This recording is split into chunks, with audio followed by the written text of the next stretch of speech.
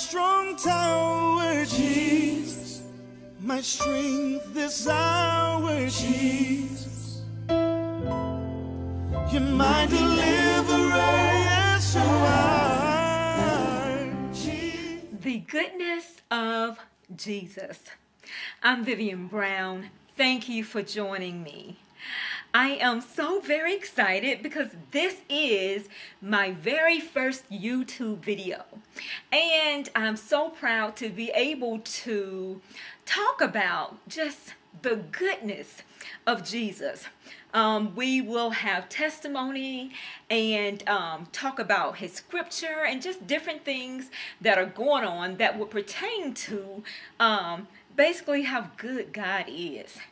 So I'm very excited about this. This is something that um, he's been on me about, and um, I'm happy to fulfill exactly what it is that he wants me to do. So here I am, and um, I so thank you for tuning in. And so um, we're going to go ahead and get started right now. Well, let me tell you a little about myself. I am, um, I've never gone to seminary school. I am not a pastor or anything like that. I am simply a follower of Jesus, and um, I'm a lover of Jesus and I want to be able to spread his word. When you come to my channel, um, and I would like to say our channel because I'm giving you what it is that he's given me and what he's directing me to give you. I would like for you to be uplifted. I would like for you on a day that you're on a bad day. I would like for you to be able to come to my channel and know that God is there Know that Jesus is right by your side no matter what you're going through. So that's what I'm about. I'm just about spreading the good news of Jesus for those that um, are not aware of him, kind of heard about him. Um, I want you to be to get or to know about him by coming to my channel. So I, I very much thank you for joining me. I would like to go ahead and open up with prayer before we get started, and then we're going to jump right into the word. Well, dear Heavenly Father, um, we thank you so much for um, starting this new channel. I thank you so much for giving me a word to give your people, Father. I and I thank you so much for giving me a word to give those that are, are not so sure about you or, or don't know who your darling son is. Father, we thank you this morning for making this day possible. We ask that those that are, are viewing, that you give them ears to hear, eyes to see, and even a heart that is open to hear what it is that you're trying to speak to them through me. Use me as your vessel, Father, to reach your people, Father, and those that you need to bring to you, Father. I ask that everyone that is watching this channel, I ask that you would bless them abundantly, Father. Help them to make it through whatever it is that they're trying to get through this day. Father, we love you and we thank you, Father, and we just ask that you bless this channel, your channel, like never before, and Father, and allow it to reach each and every one that you need for it to touch. In Jesus' name we pray. Amen. Amen. All right. Well, we're going to go ahead and get started. As I said, this is about the goodness of Jesus. It's in the title. The goodness of Jesus. So what I would like to do is start off by reading from the beginning where Jesus was actually born. How can I start talking about the goodness of Jesus if I don't if we don't start off with scripture about when he was born? So I have my Bible right here in front of me. We're going to read from Matthew chapter 1, and we're going to start at verse 18. This is about when the angel appears to Joseph. Okay? It says, Now the birth of Jesus Christ was on this wise. When as his mother Mary was espoused to Joseph, before they came together, she found, she was found with a child of the Holy Ghost. Then Joseph, her husband, being a just man and not willing to make her a public example, was minded to put her away privily. But while he thought on these things, behold, the angel of the Lord appeared unto him in a dream, saying, Joseph, thou son of David, fear not to take unto thee Mary thy wife, for that which is conceived in her is of the Holy Ghost. Say that one more time. That which was conceived in Mary, the virgin, was conceived in her by the Holy Ghost. And she shall bring forth a son, and thou shalt call his name Jesus. For he shall save his people from their sins. One more time. Thou shalt call his name Jesus, for he shall save his people from their sins. That is powerful. Now, all this was done that it might be fulfilled, which was spoken of the Lord by the prophet, saying, Behold, a virgin shall be with child, and shall bring forth a son, and they shall call his name Emmanuel, which being interpreted is God with us. Then Joseph, being raised from sleep, did as the angel of the Lord had bidden him, and took unto him his wife, and knew her not till she had brought forth her firstborn son. And he called his name, can you guess? Jesus. Amen.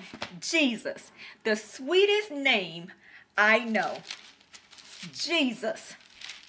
Well, what we're going to do is um, I wanted to go back to the one particular scripture as because you're, you're, those of you that may not quite know who he is, I want to help you to get there.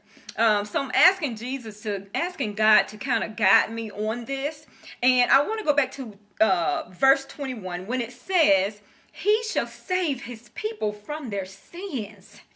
This is why he was born. It says that he shall save his people from their sins. Guys, we couldn't do it on our own. I mean, just think about all the things that we do. Where would we be if Jesus hadn't died for us, if he was not born just to save us from our sins?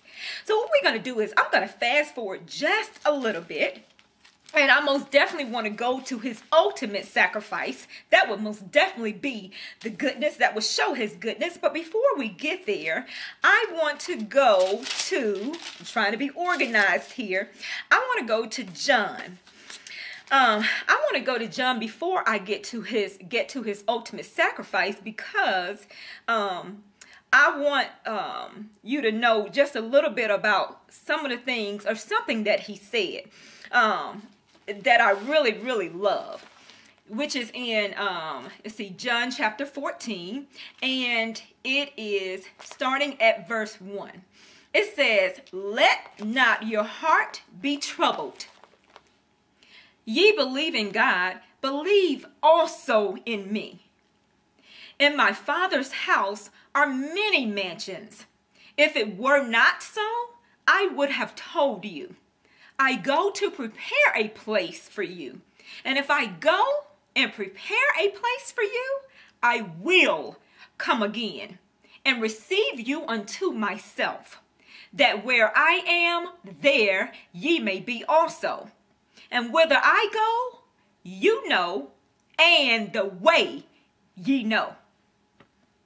Hmm? So Thomas saith unto him, Lord, we know not whither thou goest, and how can we know the way?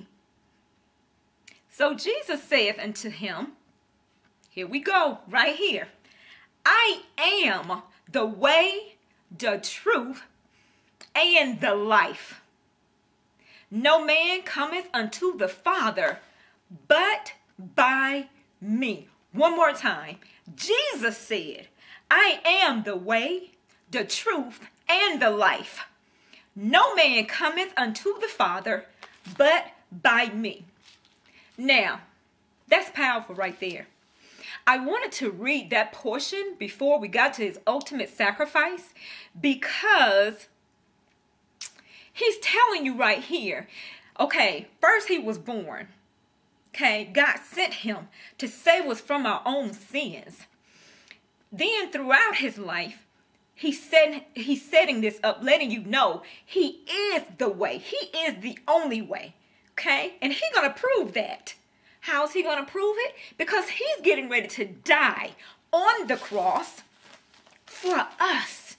Not just die, but oh my God, was he cru- he was tortured? I mean, whoo. So let's um go. Let's go ahead and fast forward. Now we are going to come back um as I create videos. We will be going through the life of Jesus and um, we will be talking about the different times that he healed and oh he's done so many different things while he was here on earth but right now let's go to matthew and we're going to go to let's see chapter 20 and let's start reading from when he foretold of um, his great sacrifice for us um, like I said, it is um, chapter 20, and I'm trying to be organized here. And we're going to start from um, verse 17.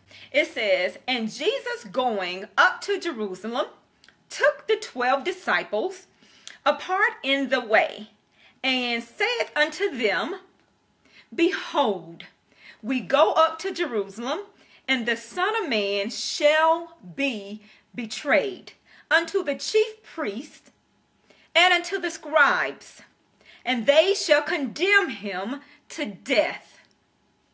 He didn't stop there. He says, and shall deliver him to the Gentiles to mock and to scourge and to crucify him.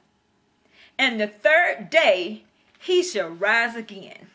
Now, when I read these scriptures, it just hurts me to my heart because I'm that kind of person. I'm so sensitive and I'm very passionate about um, things, and I have such compassion for people. And most definitely, I hate to hear what he had to go through, but I, I know he had to do that. But it just really it hurts. But the one thing I love is that that last scripture, scripture 19, ends with um, the third day he shall rise again. That brings me such comfort, and it should bring you comfort as well to know that death couldn't hold on to our Lord and Savior Jesus. He did get up out that grave. So I am um, uh, so very happy about that. Um, so what we're going to do right now is I would like to bring to life those last couple of scriptures about when he foretold what was going to happen to him. So tune in to this. He's guilty of nothing more than being deluded. He has broken the law. Your law, not Caesar's. Get him out and teach him some respect. Forty lashes.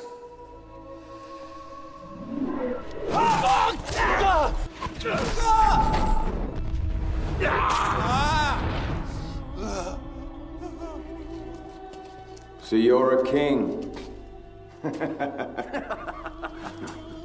Every king needs a crown.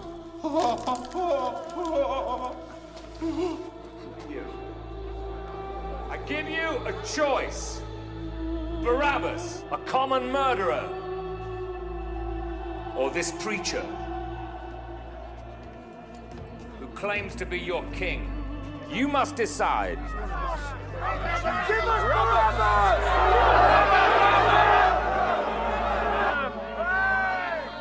And the prophet?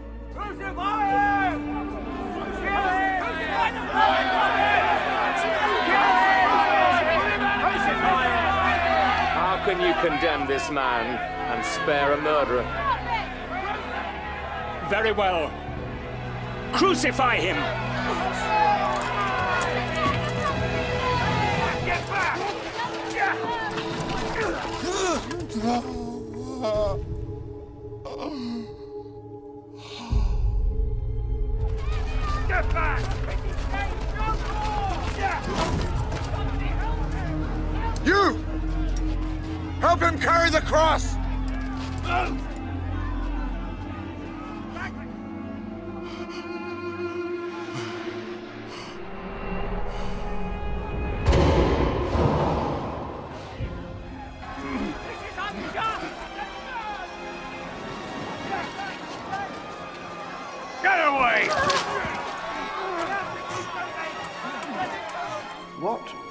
Sign on his cross say, Prefect? Put in Aramaic, Latin, and Greek. Jesus of Nazareth, the King of the Jews.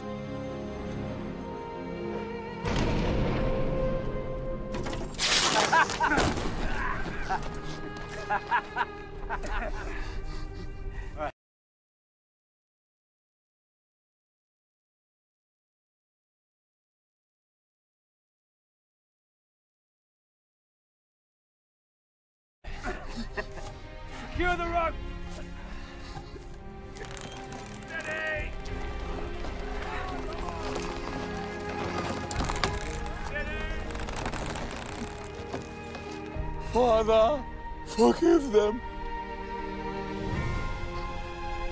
For they know not what they do.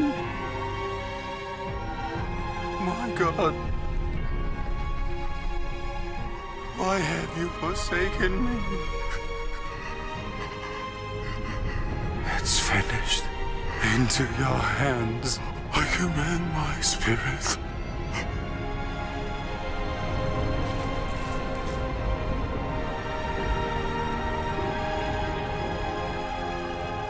Now, that was truly the goodness of Jesus. That cannot be denied. Um, that was an ultimate sacrifice that he gave. The goodness of Jesus to give us himself to save us from ourselves. How about that? To give himself, to sacrifice himself to save us from ourselves. Now that is something, and we and I thank G, I thank God for seeing fit to send His only begotten Son, so to where whoever believeth in Him shall not perish, but have everlasting life. We thank you, Father, and we love you. Until next time, take care.